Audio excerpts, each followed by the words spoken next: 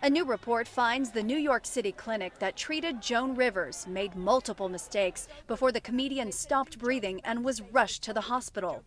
Findings from the Department of Health and Human Services investigation reveal that Rivers did not consent to a procedure performed at the endoscopy clinic during which she lost consciousness. It also finds that doctors failed to identify deteriorating vital signs and provide timely intervention. Rivers died in September after being removed from life support. Music stars are signing on for a new version of the Band Aid charity song, Do They Know It's Christmas?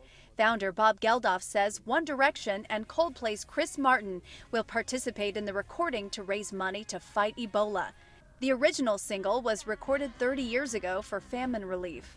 Mark Wahlberg is a man with a double life in the new movie, The Gambler. The cast walked the red carpet at the world premiere in Hollywood. Wahlberg plays an English professor with a gambling habit that spirals out of control. He doesn't gamble for the thrill of it, that's for sure. He's just basically trying to strip himself of everything material in his life. The Gambler opens in theaters next week. And Jennifer Lawrence lit up the red carpet at the London premiere of the newest installment in the Hunger Games series. Mockingjay Part 1 opens in theaters November 21st.